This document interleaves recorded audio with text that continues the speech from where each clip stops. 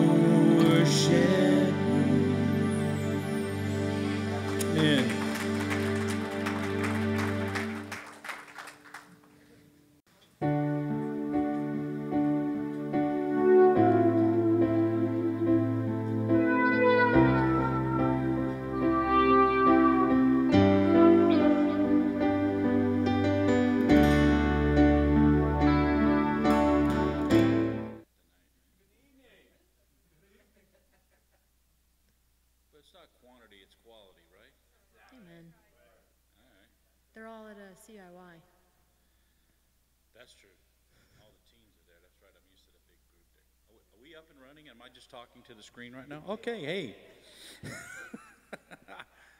Good evening, everybody. Small and intimate.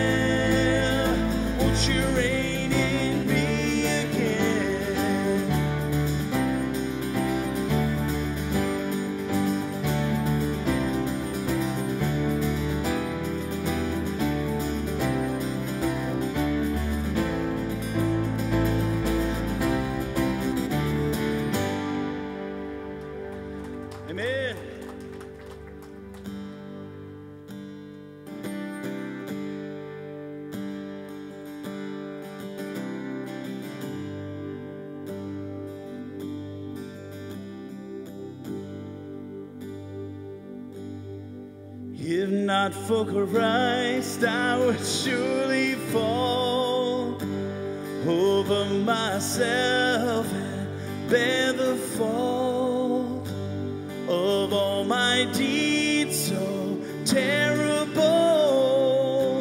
If not for Christ, I would surely fall. If not for Christ, I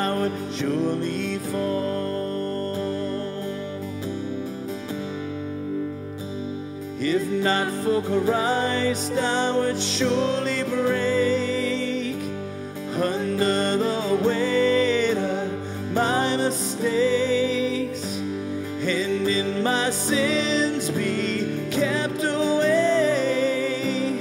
If not for Christ, I would surely break.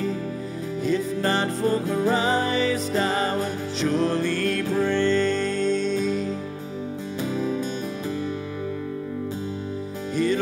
for me he bled and died. It was my sword that pierced his side. It was my name that Jesus cried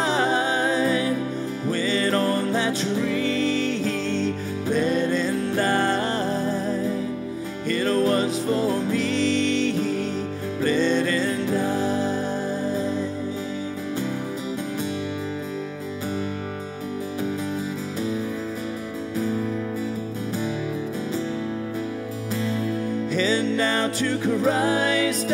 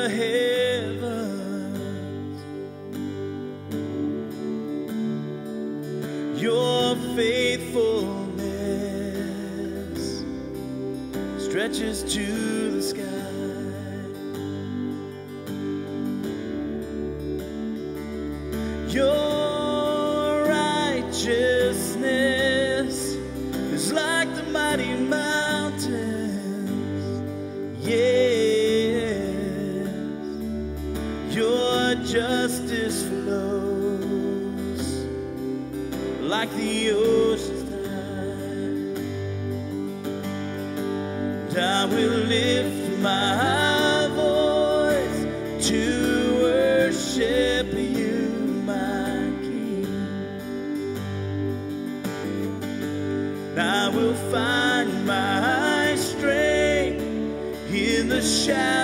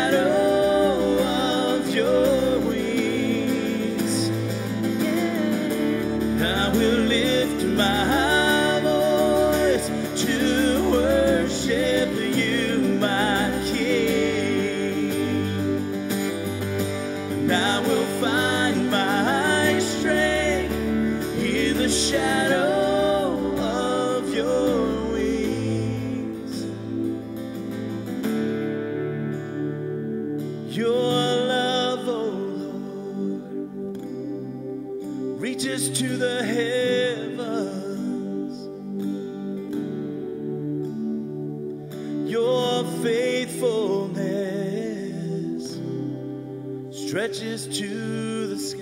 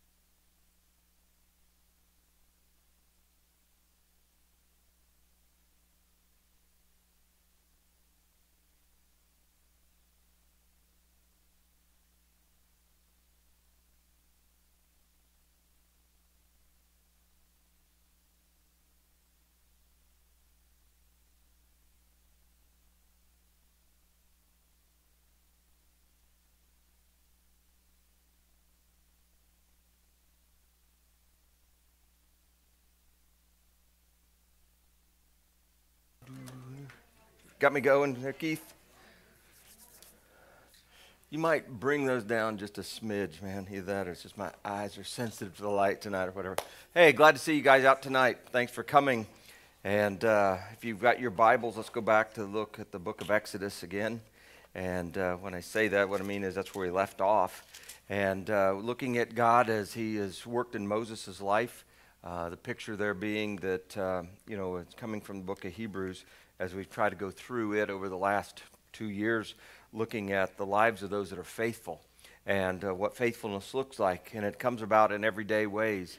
Uh, it's not spectacular people, it's people that went ahead and chose to uh, give abandonment to God. Doesn't mean that they were faultless at all, at all, is what we've seen, but rather instead it's that they continued to maintain with God uh, even through their, their times of faithlessness or doubt, uh, even though some of the circumstances weren't all explainable and everything in that regard, that they still held on. Moses being one of those, that although he certainly had a miraculous beginning as his life went on from that time that he was pulled out of the water.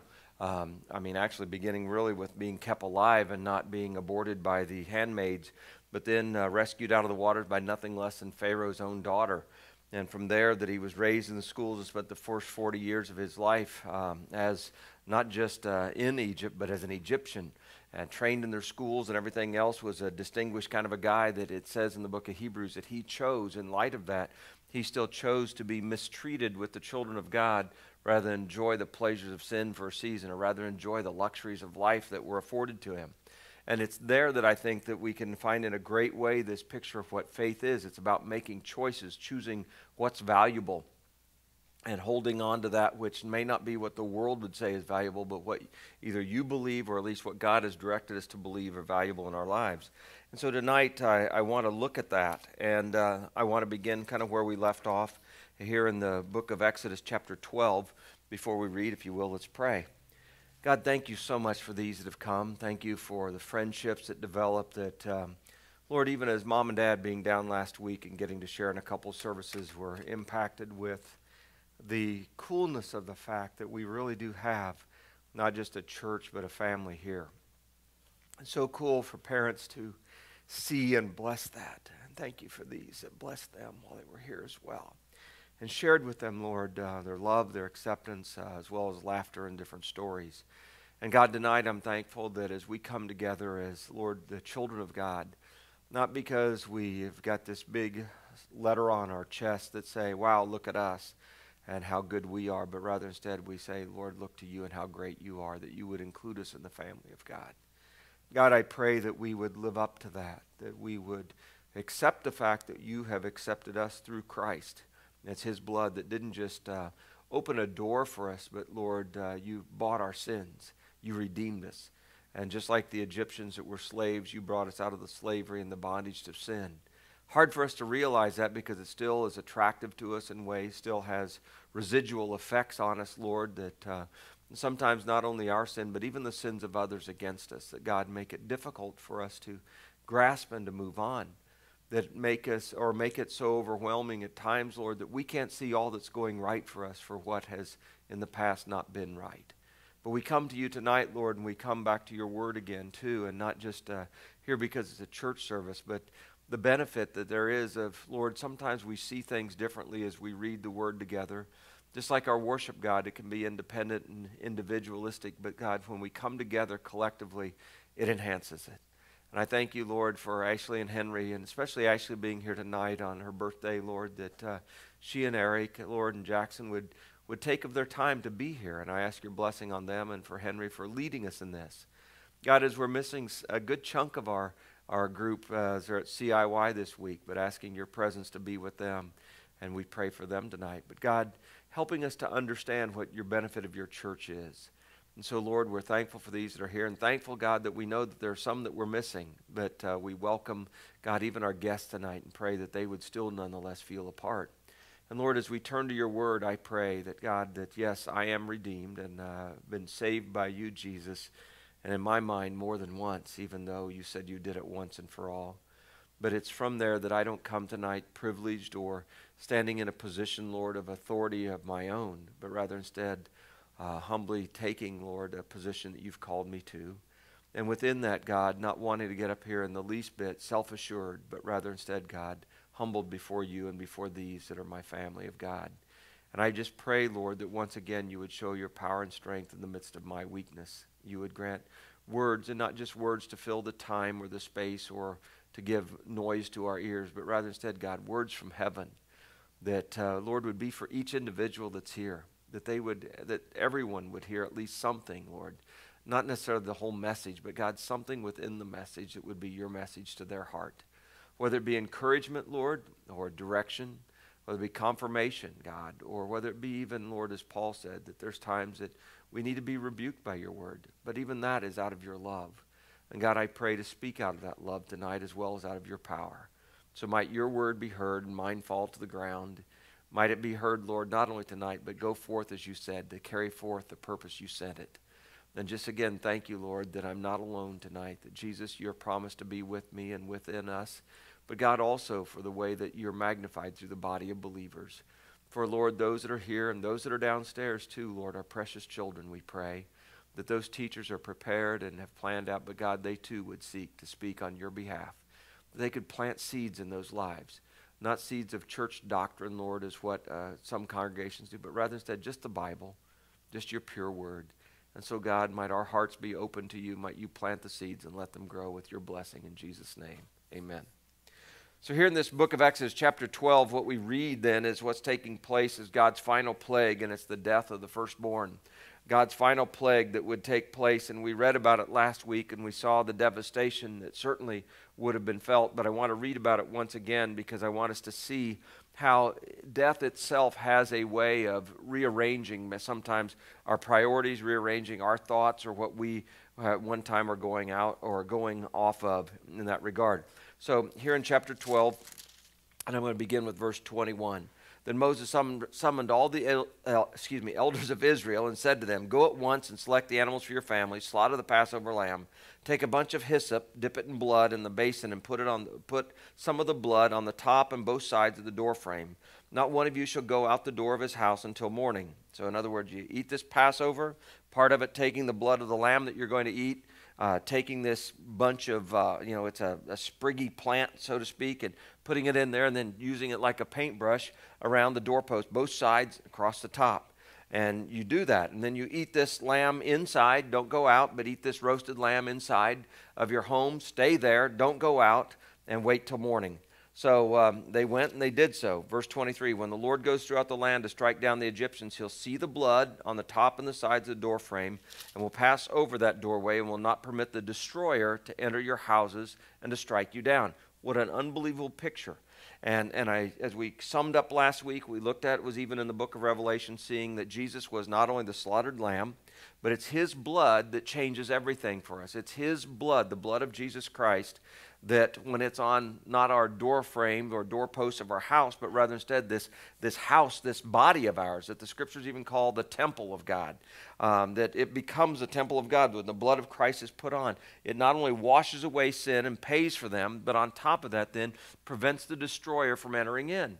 So that when we die physically, we are alive spiritually forever and ever. That all men will die in the flesh, but we and we all have died because of sin but God reverses the sin death and lets us be alive again for eternity that we would spend with Him. And so, in the same regard, the destroyer, although he can inflict pain and although he can torment us, and although there are various things that God has given him the freedom to do, and I compare it to at least what one said to me one time that made a lot of sense. It's like we've all, I believe, been around dogs at one time or another, some that are very nice, and others that, man, it's just like they've got this bad temperament. And um, I'll never forget the one time when I was out and about and uh, selling garden seeds for FFA, a country boy in me here, but uh, uh, going around and selling garden seeds. I drove up this one guy's house, and Jim Furrow. And I knew that he had a, a coon dog out there that uh, barked like crazy. I've been there before, and I was now delivering the seeds that I'd sold. And so I saw the dog, and he's going like crazy. Well, I wasn't afraid because he was on what? A chain. He was chained up. And so I, I didn't necessarily really antagonize him a lot. It was just my fear was not very high because I knew the limits of his chain. And so he was, rah, rah, rah, and I was like, well, why aren't you too? And I turned around. About that time, I heard this, and the chain's not getting tighter. It's loose. And suddenly I got very fast and I made it to the door without getting bit. But uh, dogs that are chained up, we know that the important rule that is, especially if they act the least bit mean, the important part of that is, is what? Stay outside of the reach of their chain, right? If they've got a 20 foot chain, you don't need to get up to 20 foot 2 inches just to see for sure. just trust if that's 20 foot, stay around 22 feet away, and they can't harm you. And the scriptures kind of give us this picture of that's what it does with the devil. It puts limitations on him. When we're able to uh, go ahead and in Christ, we receive Christ, it doesn't mean that the devil will no longer be able to do anything with us. It just means that he will be limited. Even as we see with Job, he was limited. He had to ask permission from God to be able to inflict upon Job. Doesn't look like what we would want to happen, but for whatever reason, God chooses to allow him. And it's because of this contest that was going on with the life of Job at that point in time. We might look at it and say, well, that's terrible of God to do so. But I remind you of what Paul wrote and even what Isaiah did. But who are we to question God? You know, I mean, just let God be God. But there are things that God will allow Satan to inflict upon us but it will not be near as severe as if he just had his way with us, so to speak. But one of the things that we can control is there are certain things we don't need to get within the reach of his chain, right? There are certain things that we've all experienced, we've gotten bit by before. Why would we go back and even get close? but it's because we think this time I can handle it, right? This time I'll pet the dog and he'll be fine. No, the devil is just stay away from him, stay out, with, out of his reach. And even within that, some of the things that he'll do, I think we'll handle differently when we know that we're walking with God. Well, in this particular case, the destroyer is the devil. I mean, more or less, even though it's something that God allows to happen, and I can't describe to you clearly here, but in our spiritual lives anyway, the destroyer will certainly be the devil. And the greatest thing we can do is with the blood of Christ over us is stay out of his reach in that regard so that we will not be taken down. We will die, all Christians will. And even like what we saw with the Christians at the time that Revelation was written, as well as through the Roman Colosseum and different things like that, the Christians were despised and hated, but they maintained this attitude you can kill my body, but you can't kill me. You can take me away from my family, but you can't separate me from Christ. And that's why Paul was even able to write in Romans 8 that nothing can separate us from the love of God, neither height nor depth. And he mentions demons nor angels. He talks about these extreme things. He said nothing can separate us from the love of God. And to that we ought to cling to and rejoice. But within that, then let's hold on to the God that we have. So keep the blood of Christ on you nonetheless. So it says, Obey these instructions of lasting ordinance, verse 24, for you and your descendants. And when you enter the land that the Lord will give you as he promised, observe this ceremony. In other words, don't forget this. Keep doing it as a reminder to you. Don't keep doing this, uh, keep observing this ceremony. And when your children then ask you, What does this ceremony mean to you? Tell them it's the Passover. It's the Passover sacrifice to the Lord. Man, he passed over the house of the Israelites in Egypt. He spared our homes. He, he was able to spare our homes when he struck down the Egyptians. And the people bowed down and they worshiped, and the Israelites did just like the Lord commanded Moses and Aaron. Well, at midnight. So they killed the lamb. They went ahead and roasted it. They ate it within their house. They put the door over the doorpost. They stayed up, locked up inside their house. And it said they bowed down, they worshiped God. At midnight, the Lord struck down all the firstborn in Egypt, from the firstborn of Pharaoh that sat on the throne to the firstborn of the prisoner so even the guy that had done wrong, who was in the dungeon, the firstborn of the livestock as well. So all the and the picture here of livestock is is is not just cattle, but it's all of the different ones. So every sheep, every cow, every whatever it was that you might have out there in your barnyard, if it was the firstborn male, it died. Whether it was old or young, if it was firstborn, whether it was grandpa or a son or a grandson, they died. Firstborn boys, they died. Ladies, you got off easy, okay? So at midnight, this goes throughout. The firstborn died. Pharaoh and all his officials, all the Egyptians, got up during the night, and there was loud wailing in Egypt, for there was not a house without someone dead. I couldn't begin to tell you how many Egyptians there were. We read later on that there were 600,000 uh, able bodied men that walked out with the Israelites, plus the women and the children all. So I have to believe they had that many slaves, there were probably a lot more Egyptians. But uh, man, everybody was touched by this except those that what? Had the blood of the Lamb over their doorposts. Now, here's what I want us to grasp. It was in the midst of this that their wailing woke up the Israelites and suddenly, what at one time was kind of somewhat of a fairy tale type, fictitious seemingly, but oh well, whatever, what have I got to lose? God said, so I'm going to put this up there. Even though they'd seen all these other, the devastation of these other plagues and everything, even the Israelites, there were some that doubted. Even the Israelites, there were some, I'm sure, that kind of went, oh well, I guess I'll do it, you know. But man, suddenly there's that day of reckoning. There's that moment of clarity and sobriety when you go, oh my, God did what he said he was going to do. I believe our country is set up for that. I believe our world is set up for that. I believe there will be a day uh, when every eye will see and every knee will bow and every tongue will confess that Jesus Christ is Lord. But it's going to be too late. But it's coming. And, you know, just because there's a delay in it doesn't mean that God won't come, doesn't mean that it's untrue.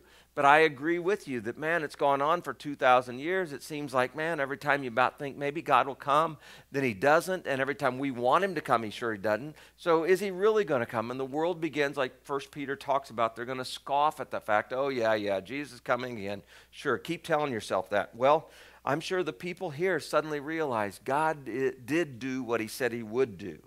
And so when they hear this wailing that goes out, and, and, and I can only imagine – I mean, again, I've been in situations, and sometimes it's car wreck, sometimes it's just absolute death that has happened, and there is that devastation of, oh my, this is it. There's no bringing them back other than what God will do.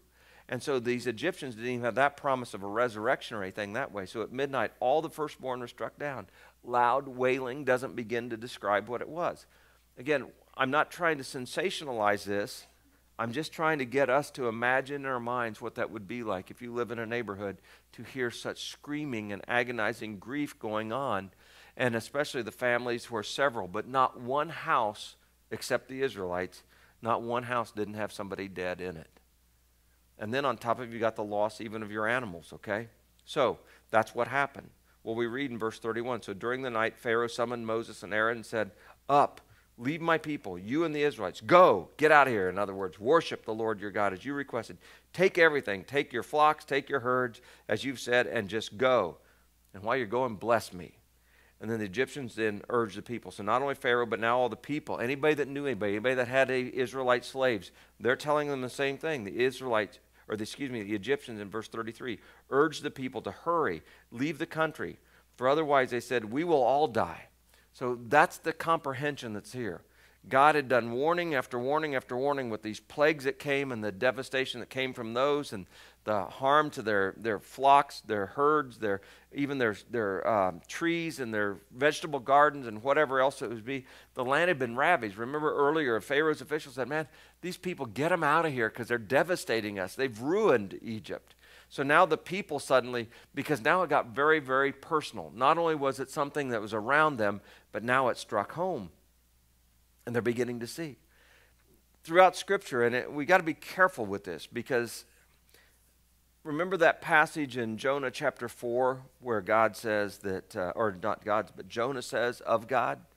When God had told Jonah to go and preach and he didn't want to do it, and this fish swallowed him, he put him back up on the land, and Joseph said, Okay, I'll do what you want to do. But Joseph wasn't a very happy camper. He did go and he told them and he warned them. But then he was disappointed when the people repented. He was disappointed that the, uh, Nineveh, the people from Nineveh would go ahead and say, I'm sorry, and they proclaimed a fast from the king all the way down through these people of Assyria.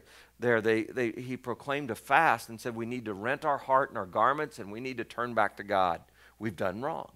And in the midst of that, then God said, I'll withhold this, the devastation I was going to send to you. Jonah is upset about that, and that's when he says this marvelous phrase that to me, and it's what I'd planned on bringing into the message last Sunday morning, but as if we're to be like God, then we need to have these characteristics. But he said, God, didn't I know? I knew you were gracious and compassionate, slow to anger, and abounding in love. And then the last thing he says, and you relent from sending calamity on anyone. I want you to grasp that about our God and about the God of the Bible. He is gracious. And sometimes his graciousness is accepted as being, oh, well, God's so gracious, he's not going to let anything bad happen to me. Now, there's a part of that that's truth, and there's another part of that, but if we keep sinning, quote unquote, so grace can abound, it doesn't mean that there will not be any consequences.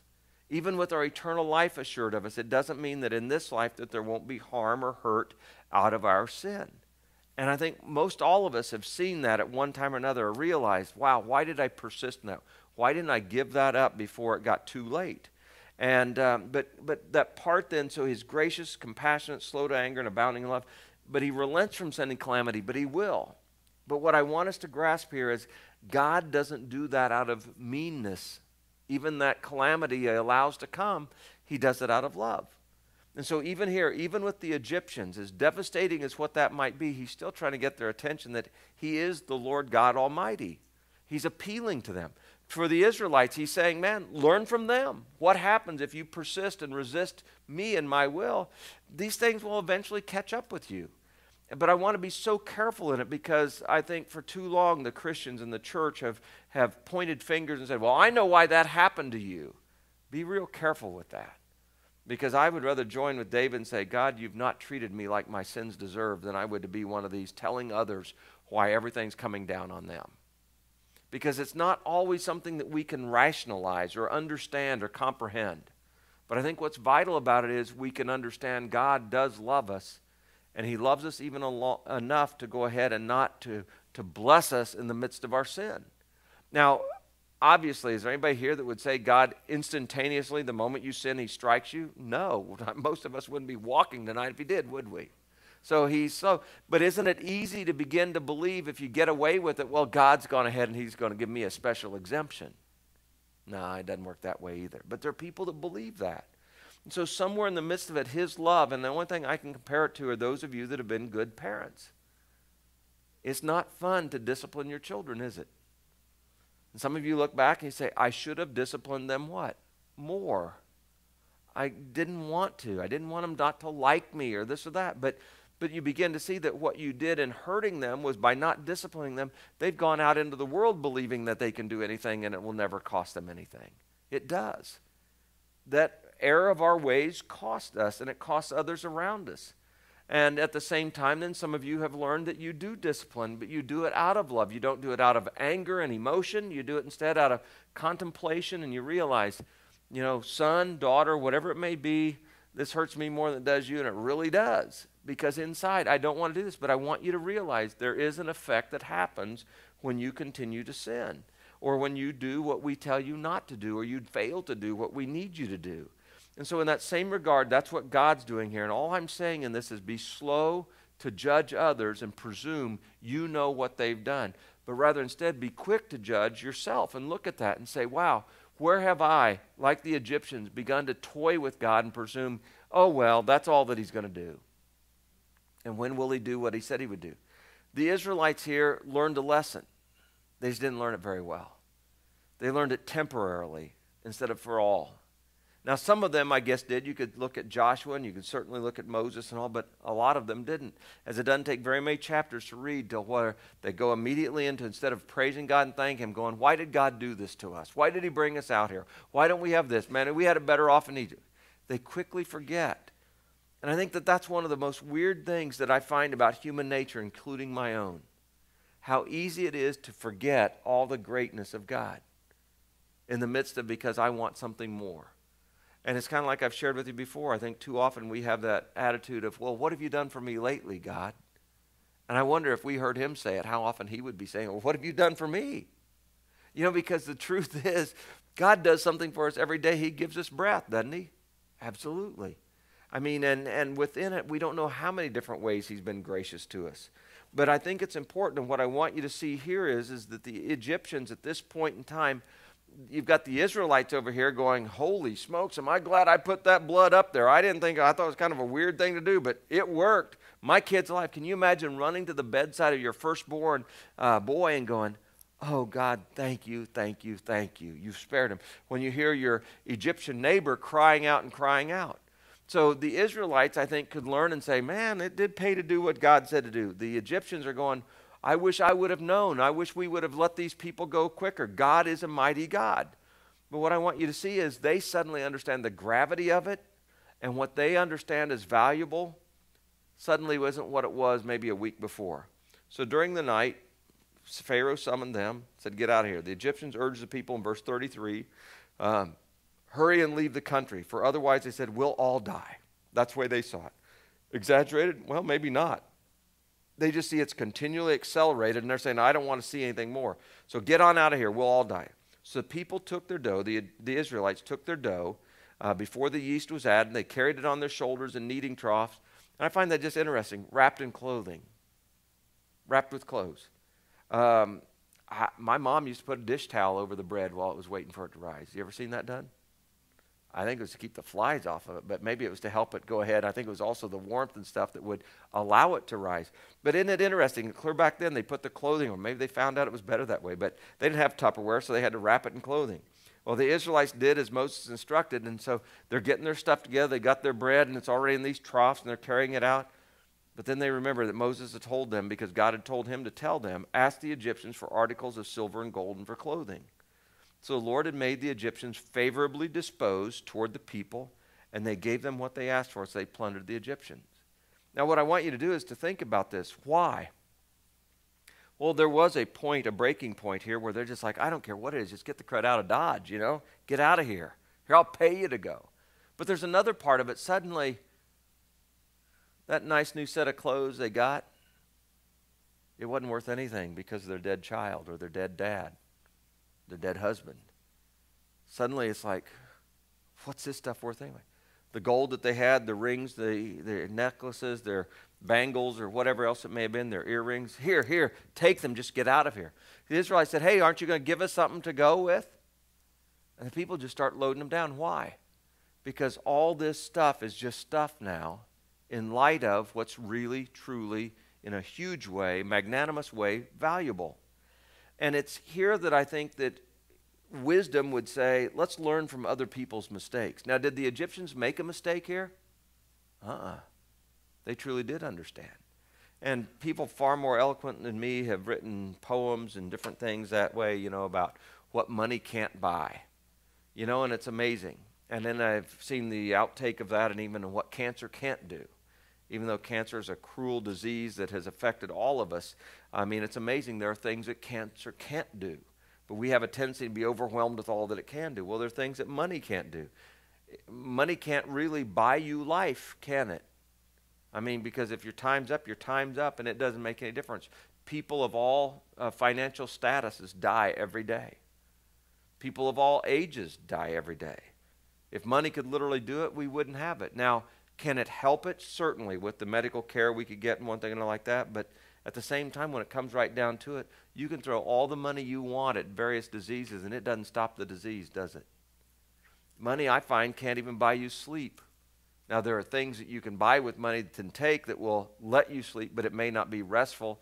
It may not be the kind you want, but just to be able to lay down carefree and be able to sleep because, you know, you truly have been able to cast all your burdens on Christ because he cares for you, like the scriptures say. Money can't buy you that, can it? And there are a lot of people that have all kinds of money that don't sleep very well. Um, there's other things with the health, with the sleep, with life itself. The other thing that often is talked about is money can't buy you the L O V E word, right? It can buy you somebody to be with, companionship, but it doesn't necessarily assure love. And on down the line, even freedom from addiction, you know, and, and there are things that just overwhelm us and overtake us. So, here in this scenario, the Egyptians finally become wise and say, Look, man, I will pay you to leave me alone. Take you and your God, get out of my life because my life's worth nothing and it's only going to be more death if you don't get out of here. Here, take my stuff. And yet I wonder today how many times that it's our stuff that keeps us from seeing God, enjoying God, or enjoying people even. How many times it's our stuff or trying to accumulate more money to get more stuff to keep up with the Joneses or get ahead of them, whatever it might be, that keeps us from being able to be at peace. And that's even for us that are believers because we have a tendency not to learn. And I'm not for one moment saying that love is wrong, and love is not the root of all evil. It's the love of it that is. And it's the love of money and the craving of that greed for it that oftentimes keeps us from enjoying even those things that we've got or appreciating. The old song says, Count your blessings, name them what? One by one. And it will amaze you what the Lord has done.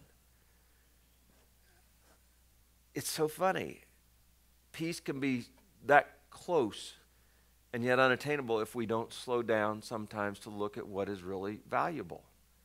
And um, I've seen it in a variety of stages and places in my own life as well as the life of others.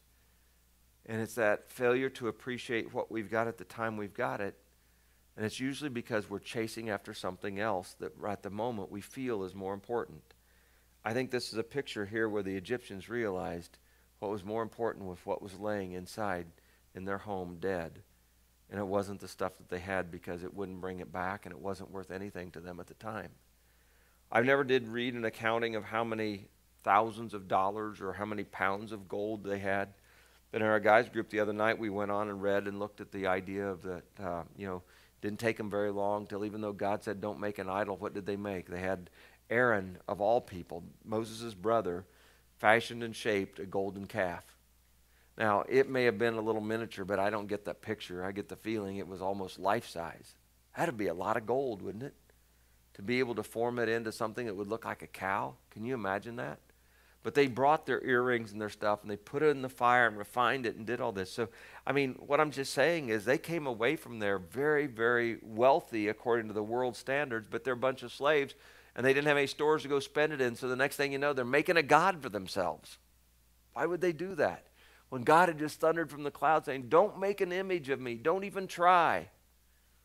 And it's that way we get skewed. It's that way that we get within the devil's chain, and he begins to take away our value system. Again, I'm not here tonight to try to tell you what your value system ought to be. I'm not here to say we all ought to have this amount of money. If we all had this amount, we'd all be equal. No. even people if we had an equal amount as what some people in our country and other countries around the world have tried to do, somehow or another, it's funny, isn't it? If we all had the same, it would be social justice, and yet they're the ones that have the most. I don't get it, you know. I, I trust at least, I mean, I, I kind of am intrigued with the, the Pope that there is that chose not to live in the Vatican, but rather said, just, I'll keep my apartment over here, that's fine. I don't need all this other stuff. I admire that. That's at least somebody you can tell he believes what he's saying. Um, but, you know, I mean, it's funny how we have these certain things in mind. No, the truth of it is, even if we all had an equal amount today, by the end of next year, we wouldn't have an equal amount. Because some know what to do with it and some don't. Some would hoard it, and other people would spend it all. And there's a balance in both things, you know, because it's no good just to have it if it doesn't, you know, it's not anything you can enjoy. At the same time, if you just waste it and squander it, it's also going to be something you're not going to have enough of. So I'm not here to try to set the standard. I'm just here to encourage you to stop and to look and to think about what is valuable to you. And believe it or not, we all have a top 10 list. We just, very few of us have ever written it out there. What is number one to us? Because there can't be two number ones. What is the most important thing? Those of us who have been in Sunday school and church for any time at all would say, God's number one. You, you might say that, and that's what you'd write on your list, but what's in the list of your heart? Does God really reflect that He's number one? Does He get your best? Just like they were supposed to pick the best lamb that they had. To do what? Sacrifice it. Does God get our best or not? So, again, not here to try to twist any screws down and make you torture or anything that way. I'm just saying, these folks, man, they had it clear. The Israelites, they plundered them. I don't know what they were going to spend it on or do with it. They didn't know either, but they had it. It's weird like that, isn't it? We can have stuff and we don't even know what's valuable.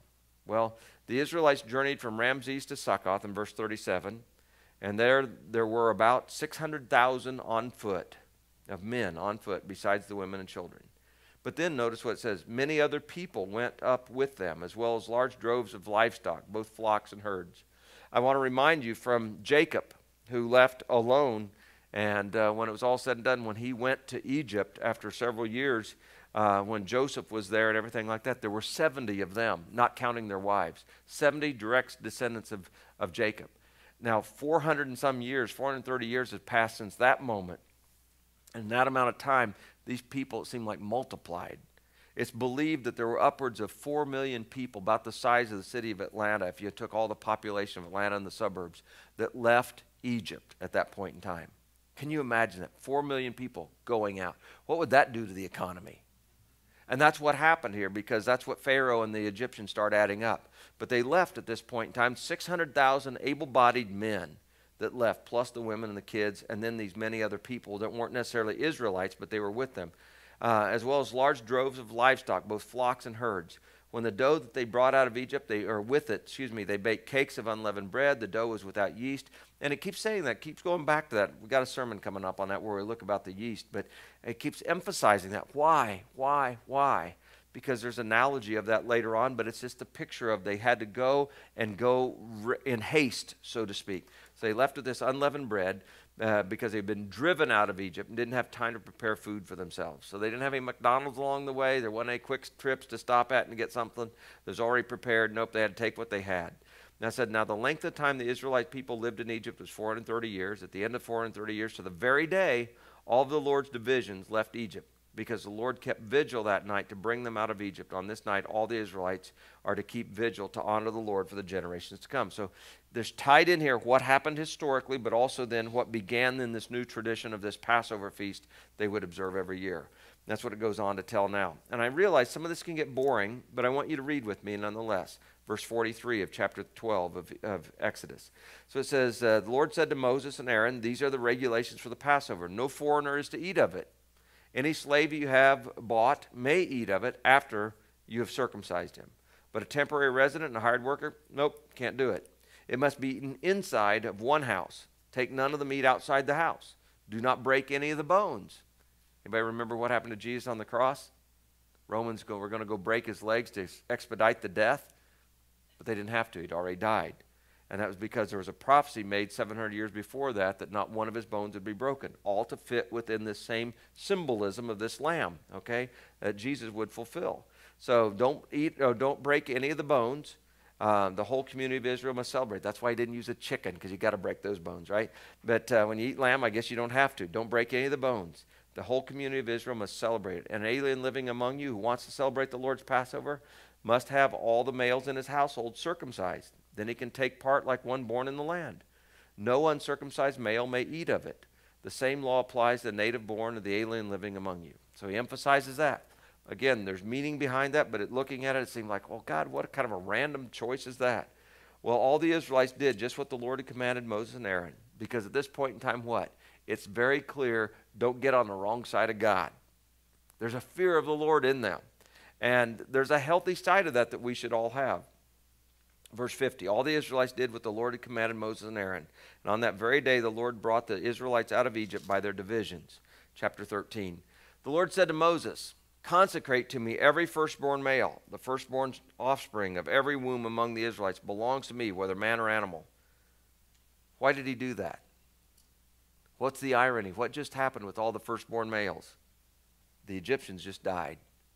So God says, now, now that you've seen that I have the power to, you know, either hurt, if you want to look at that way, or to protect, here's what I want you to do for me. In appreciation, I want you, and to remember this, to go ahead and hold it valuable, I want you every time that there's a firstborn male born, whether it's animal or, ma- or son, to the family, consecrate him to me. He's mine.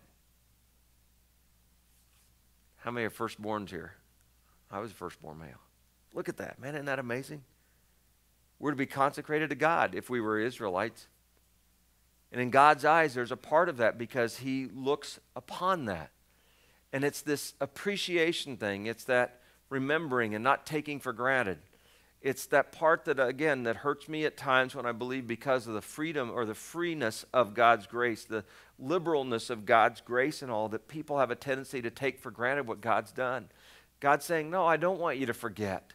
He's not wanting to put him under his thumb and make him, but he's just saying, Man, when you have a firstborn, see it as a gift from me, give it back to me, and I'll bless the rest of your family as well as that one. And so he says, Consecrate to me every firstborn male. Then Moses said to the people in verse 3 Commemorate this day, the day you came out of Egypt, out of the land of slavery, because the Lord brought you out with a mighty hand. Don't forget how he did it. Uh, eat nothing containing yeast. Today, in the month of Abib, uh, you're leaving. When the Lord brings you into the land of the Canaanites, the Hittites, the Amorites, the Hivites, and the Jebusites, and you can add in some termites and whatever else you want. Uh, he swore to your forefathers to give you a land flowing with milk and honey. You are to observe this ceremony in the month. In other words, God now removed you from slavery, but not just He did that, but He's getting ready to take you and to give you a land that is going to be amazing. And when you get there, even though all these other people do it, He said, Man, I don't want you to forget Him, but continue to commem- commemorate this, okay? Verse 6 For seven days eat bread made without yeast. On the seventh day, hold a festival to the Lord. Eat un- unleavened bread. It keeps emphasizing that. No, le- no yeast, unleavened during those seven days. Nothing with yeast in it is to be seen among you nor shall any yeast be seen anywhere within your borders. In fact, what they had to do was clean the house, the entire thing, get rid of everything. Because yeast had not only the yeast connotation we think of with the yeast rolls and stuff, but it was anything that was fermented, anything that was um, the, the least bit, you know, soured or whatever it would be. I mean, there was to be nothing but that which was absolutely fresh in this house, okay? He said, I don't want you to have any of it among you the connotation here is the picture of sin. That's what yeast would connotate, is the picture of sin. The fermentation would be sin. And so he's showing them with social laws what we should do as spiritual laws. Christ came to clean us out, to remove the sin. Over time, things get built back up. Clean it out again, you know, so to speak. It's the picture of repentance. It's a picture of the cleansing. It's a picture of you and I looking at our lives and saying, oh, Lord, man, I see this has crept back in again, okay? Um, but that's the picture during this time every year they were to do. And I'm not saying we ought to do it once a year. I'm saying we ought to do it as often as we think about it when we realize there's something in us, that we confess it and allow the passage in John to be true where we confess our sins. He who is faithful and just will not only forgive us, but what? Cleanse us from the unrighteousness. So that's the analogy that's being made here. I'm not trying to stretch and make something work. I'm telling you, this is what God was trying to do, teaching us through them at that point in time. Uh, verse 7 then, again, eat unleavened bread during those seven days, nothing with yeast in it to be seen among you, sure, nor shall any yeast be seen anywhere within your borders. On that day, tell your son, I do this. It's funny he emphasized son here, and it wasn't that the girls got left out, but I'm doing this because of what? Because of what the Lord did for me when I came out of Egypt. Moms and dads that are here tonight, when was the last time you told your, your child, I'm doing this because what God did for me? I don't feel like going to church today, but I'm going because of what God did for me. It wasn't convenient for Jesus to die. It may not be convenient for us to worship him, but we're going to go do it. I'm not doing this because everything's just right. I'm doing it because God is still reigning on the throne. I do this because of what the Lord did for me. It's one of the greatest things you can teach your kids. Um, verse 9 This observance will be for you like a sign on your hand and a reminder on your forehead that the law of the Lord is to be on your lips. Now that's interesting, isn't it? Easy to read over, but let's go back and look at that. This observance, the Passover, will be for you like a sign. We see billboards on our roads all the time, so we understand what signs are. Both billboards that are advertising things, but also signs of direction, whether it's the road that we're on, east, west, north, or south, exit ramp coming up, whatever it may be. Little signs on you at this exit, you can stop and eat this and that. I just wish they would put how many miles, not after you get off in the exit, before you get off, so you know you don't even want to turn off there, you know. But uh, so we understand what signs are. We use them every day. But this observance, he's saying this Passover thing was to be a sign on your hand. Huh? Yeah, it's supposed to be something that you see. How's that? He's saying it should be that important to you that you cannot miss that anybody living amongst you, let alone your children, that they would know that you've never forgotten what God did for you. You would not be in this new promised land if it weren't for what God did delivering you in the first place, let alone giving you the land. You need signs to remember. There need to be things that we have in our lives. There are, rituals some churches do, and uh, sometimes the ritual has gotten lost because it's been so habitual. A habitual ritual. You know, uh, that there's a good part to it, but only if you let it have meaning. It's no different than worship. We can sing songs, we can read our Bible and not get a thing out of it, right? Absolutely. If what? If our thought and our heart aren't into it. But when our heart and thought are into it, it's meaningful. It's no different than me being with Julie, my wife. You know, I mean, I can be with her, and she taught me this a long time ago. I was like, well, man, you know, you get to sleep with me every night of the week. And I don't mean sleep that way. I mean, literally, we're just in the same room, same bed, and whatever. We're together. How could you ask for anything more? I thought that was enough. It's not because she wanted what? My attention. And it's expensive to what? Pay attention. It is. It costs a lot. To give somebody your attention, I mean, it's like, come on, can't you do the osmosis thing? No, that's not enough. I want you to look at me and listen to me. And sometimes she tests me just to see.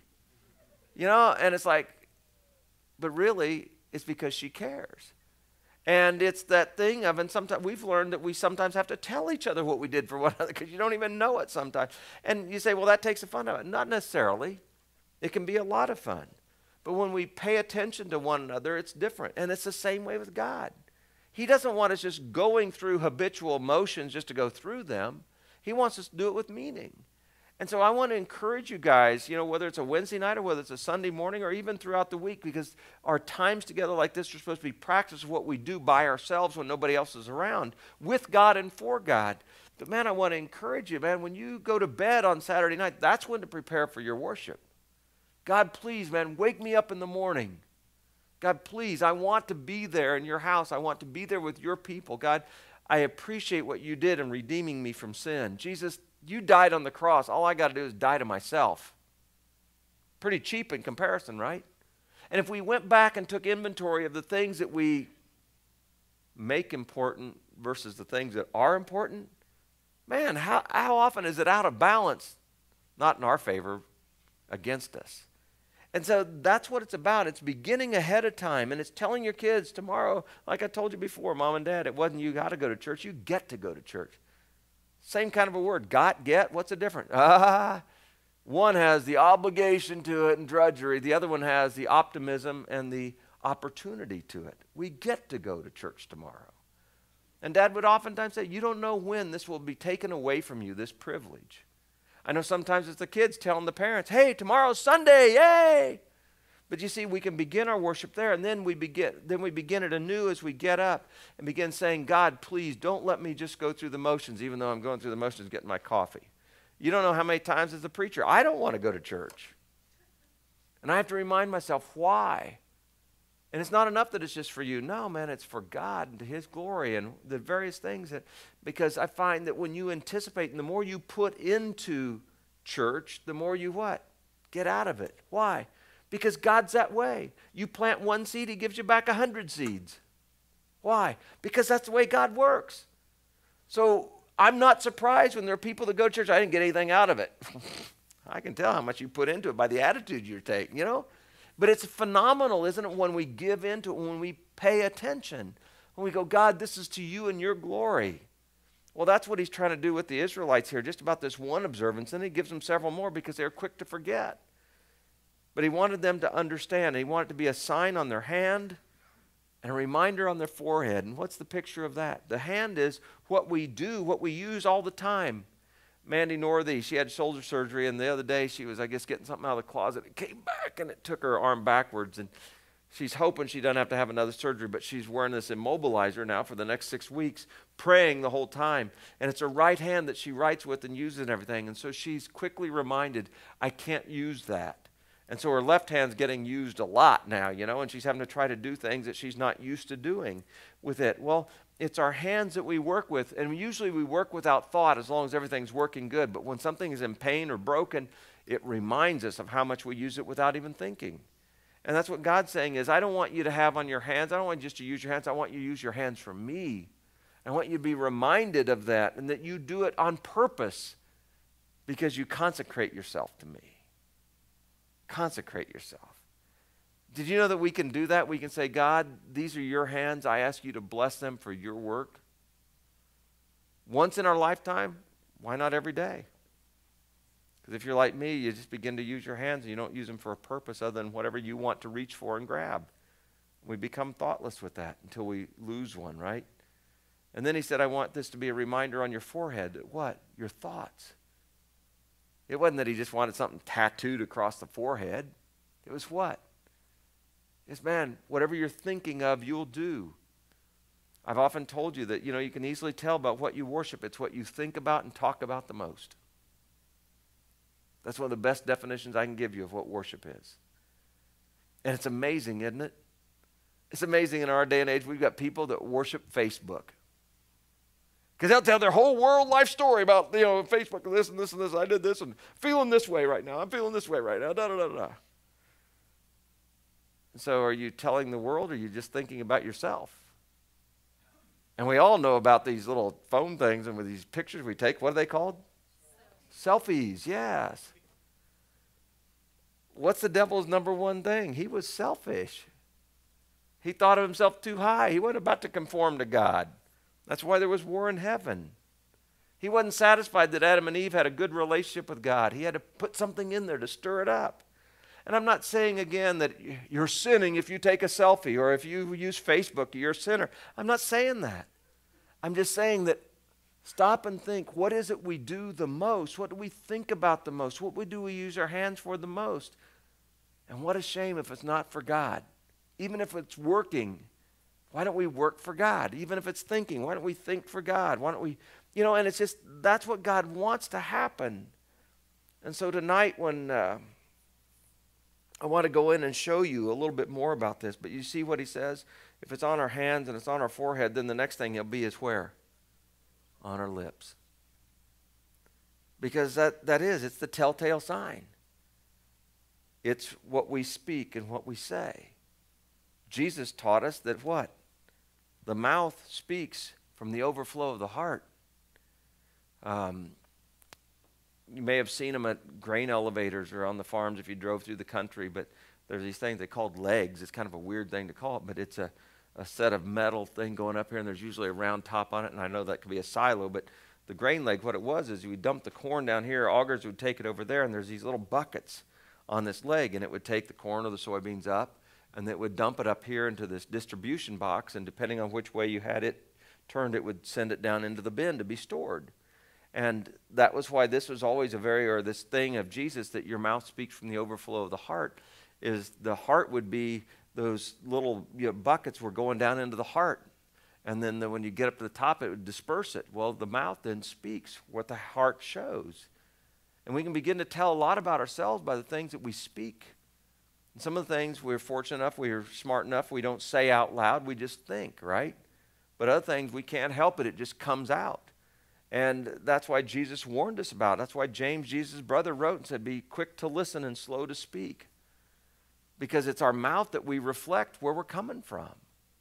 And Jesus said, It's not what you put into your mouth that makes you unclean, it's what comes out of the mouth that proves you're unclean. And so, this picture of the lips that God gives. Now, you know, he goes on the next paragraph here. He said, After the Lord brings you into the land of the Canaanites and gives you, as he promised an oath to you and your forefathers, you're to give over to the Lord all the first, uh, excuse me, the first offspring of every womb, the firstborn males of the livestock belonging to the Lord.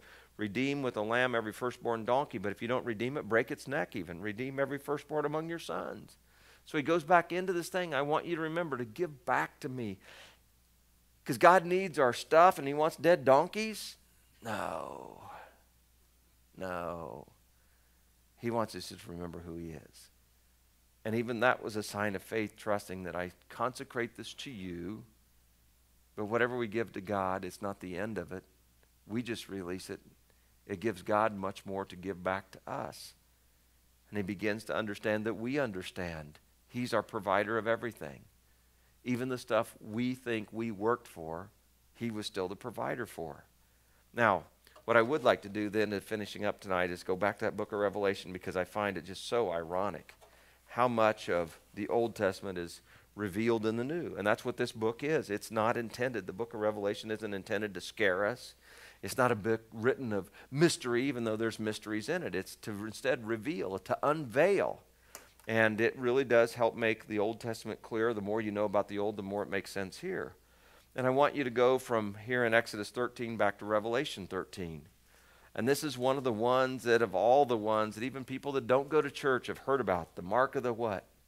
Beast. And what is that mark? 666.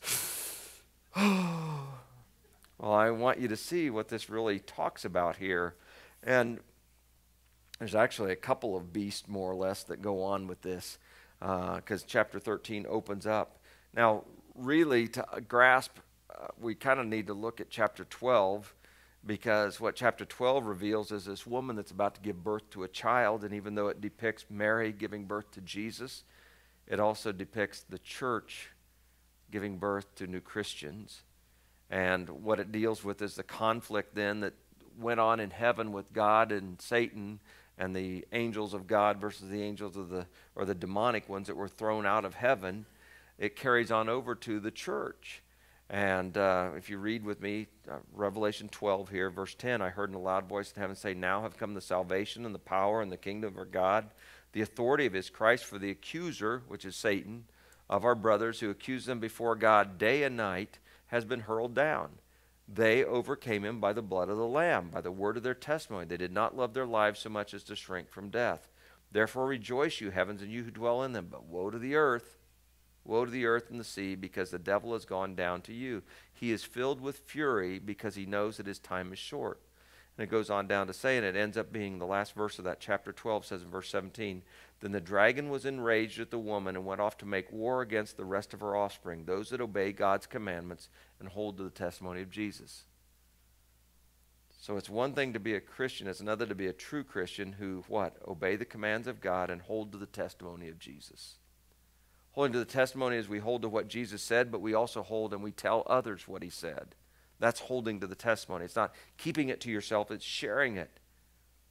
But it says that the devil is going to make war against any of us that do so. So don't be surprised when conflict arises when you're trying to do God's will. He told us ahead of time it was coming. Then we read, because it doesn't remember that this wasn't broken into chapters, it was one long letter. And so, chapter 13, though, in our Bibles, verse 1, the dragon stood on the shore of the sea. He stood there. And I saw a beast coming out of the sea. He had ten horns and seven heads with ten crowns on his horns and on each head. And, and so here's the thing don't get all caught up. What are the different heads and blah, blah, blah. Just get the stuff that's easy to see. On every head was a blasphemous name. And what is that? Both sarcastic and acoustic things that are said to God or about God. Words that would be used. Again, the lips that would speak. So these blasphemous names, that's what it shows. These ten heads had ten mouths, and all the mouths were speaking things blaspheming God. And we blaspheme God when what? We give credit to something else that belongs to God. That's blasphemy. That's why we're warned that the one unforgivable sin is blasphemy of what? The Holy Spirit.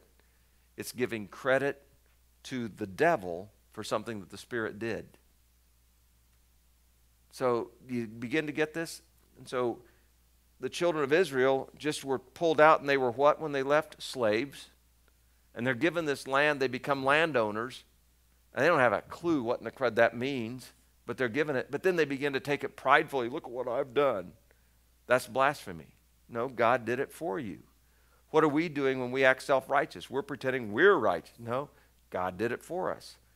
So we blaspheme God whenever we take the credit for something that's of God, or when we slander God in other ways. And there can be outright slander besides just the taking the credit, okay? So there were blasphemous names. Verse 2 The beast I saw resembled a leopard, but had feet like those of a bear and a mouth like that of a lion. Again, what's that mean? What kind of a creature would that be? I've seen some ladies that kind of looked like that. They had that, you know, a little bit of leopard thing going on there, and then they had the, uh, you know, some of them had the mouth like a lion too. wow. Anyway, uh, you know that it's it's not about that. Don't get lost in all the imagery here, but look at what it says, or what it's really talking about. Every one of these things has the power to what? Devour. And we just read about Satan trying to swallow up and this and that, and how he went to make war. So the devil's going to be mean. He's got the power to devour. And uh, then uh, the dragon gave the beast his power and his throne and his authority. The dragon is pictured as Satan, okay? One of the heads of the beast seemed to have had a fatal wound, and we go on down. They were astonished about this, and then they brag, Who can make war like him? And uh, goes on down, talks more about this blasphemy and the proud words that are said and how they blaspheme. Uh, verse 7 He was given power to make war against the saints and to conquer them uh, given authority over every tribe, uh, people, language, and nation.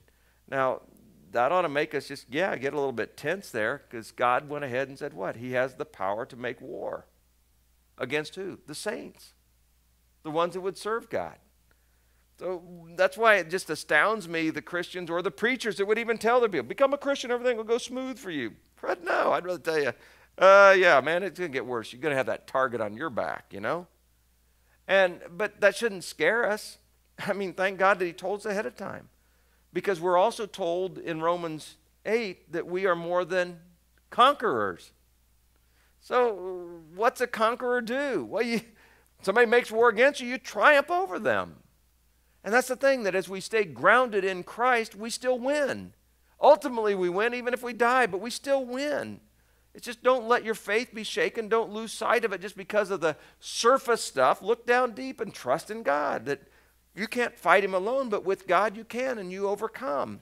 And that's again the word that's used over and over again in this book of revealing. And that's why the devil doesn't, he wants to scare us away from reading this book. He doesn't want us to know what the other promises are. All he wants to see is, oh, oh, oh. You know, it's like lions and tigers and bear, oh my. Kind of like the three things that this thing looked like, right? And he wants to be overwhelmed when Jesus is letting us in on this and telling John so that we take a chill pill and we look at it and say, man, if I'm with God, I'm fine. If I do what God wants me to do, I've got his protection. And even though there will be war and a, assault, it won't overcome. Even if I die, I just won what it was promised. So, verse 8 all the inhabitants of the earth will worship the beast, all whose names have what? not been written in the book of life belonging to the Lamb. What Lamb? The one that was slain. Do you see that? There we go. Back to that Lamb again. But only this Lamb is the ultimate Lamb. It's Jesus Christ.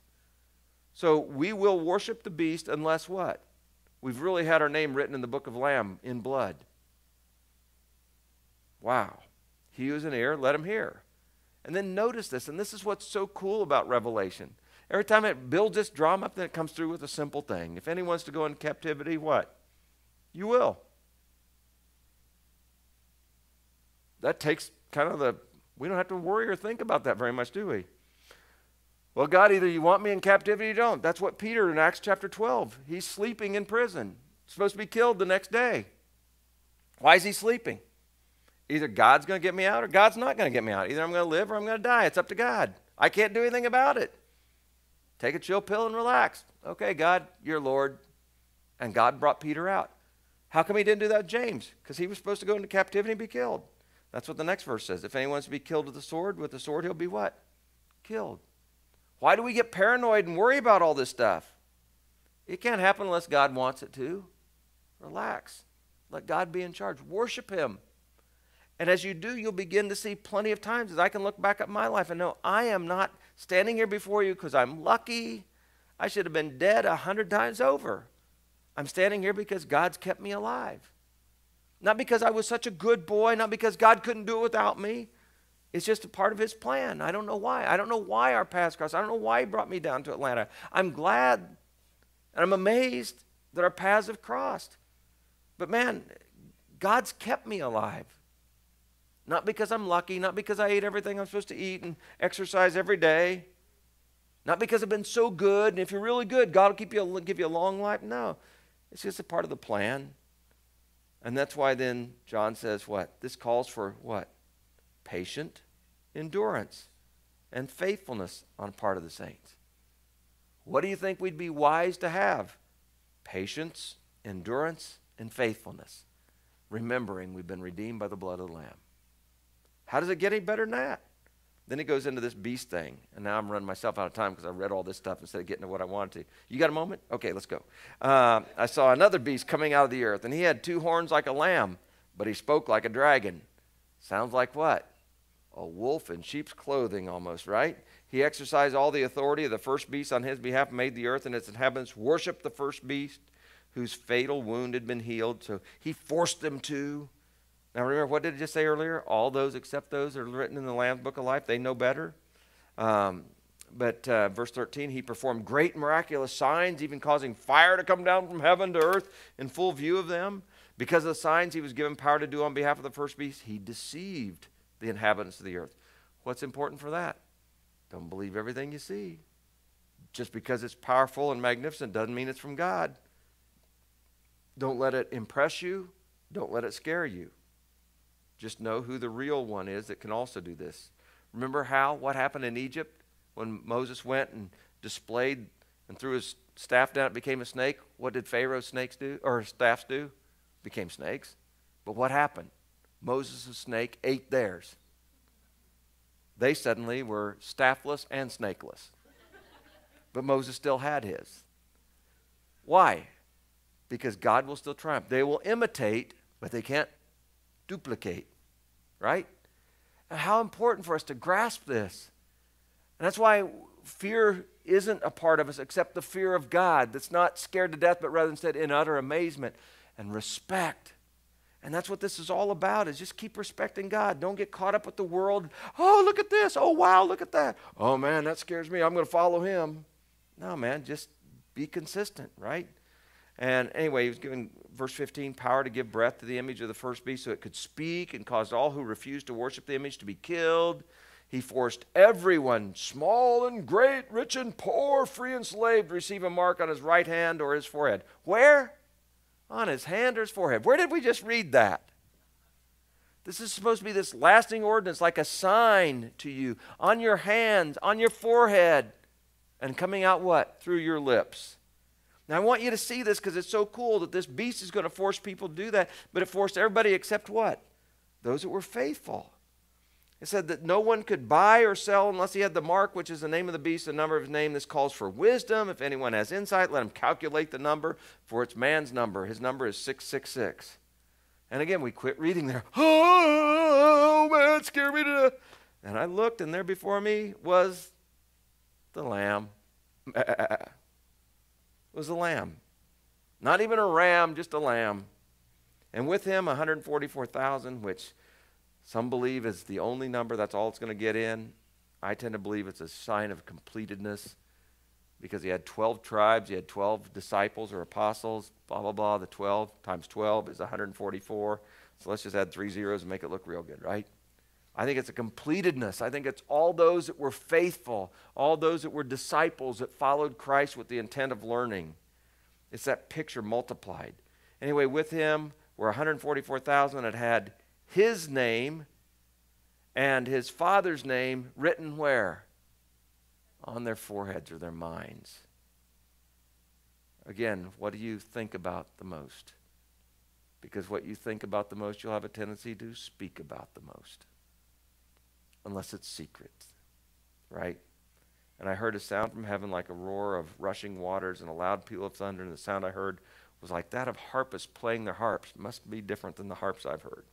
And they sang a new song before the throne and the four living creatures and the elders. No one could learn the song except the 144,000 have been redeemed from the earth. These are those that did not defile themselves with women, for they kept themselves pure. They follow the Lamb wherever he goes. They were purchased from among men and offered his first fruits to God and the Lamb. No lie was found in their mouth. No, they're blameless because they have the blood of the Lamb. I just think this is so cool, gang, that we, if we don't have the mark of God on us, the, on our minds, on our hands, if we're not serving God and using our hands, the idle hands are the what? The old saying says the devil's playground. And it's true. I mean, if we're idle, that he has more opportunity to stir desires within us. But if we're working for God, I mean, how many of you find there's less temptation when you're at church? I do. Why? Because it's the presence of the Spirit of God magnified more than just within me, it's within others. And we're focused, we're singing, we're, you know, it changes things. And so it's important that we're doing things for God. And that's why in the New Testament the letters are written and says, whatever you do, do it with all your heart, serving God. Do it to the glory of God. And it's because if we don't, we become much more apt to give in to what the devil will lead us to do. But otherwise, if we're intentional and we accept what we've received and we give the credit to God, then we'll live that way. And his name will be on our lips and not other stuff. Sorry, overtime once again. All right. Prayer requests. Anybody got they want to share? Yes, Joel. Okay.